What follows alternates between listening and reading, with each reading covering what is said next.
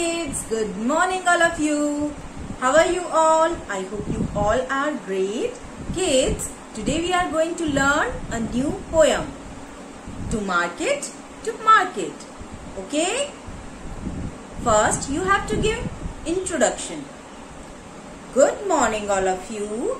My name is Kavya.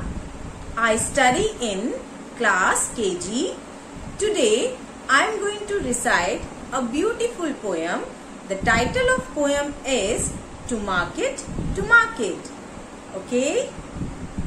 To market, to market, to buy a fat pig.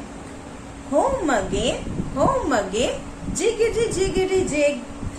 To market, to market, to buy a fat hog.